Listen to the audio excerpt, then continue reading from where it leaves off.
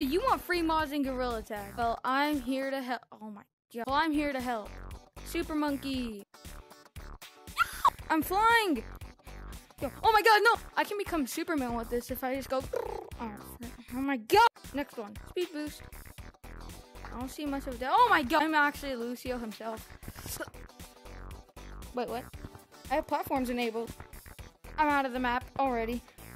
No! Oh my gosh. No! Get my hand unstuck. Page two. Long arms. We all want long arms. Let's go. Is that my head? This is what it's like to have long arms. The most annoying players in Gorilla Tag. No clip. You just no clip under the ground like the back rooms. Iron Monkey. I don't actually know what this does. I thought it was like the one from the K9 video. 3D person camera. What? Funny run. That's not a funny run. That- ow!